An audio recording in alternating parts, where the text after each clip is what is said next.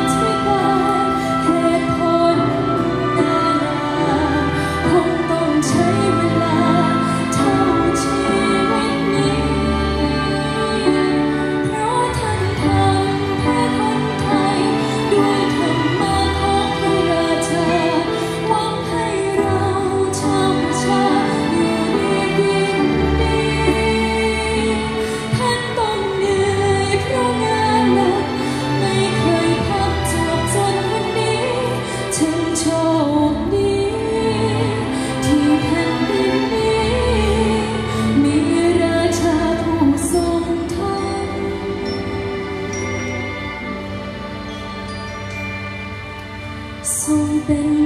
nhà quang đi bên anh em anh đi chỉ lên lắm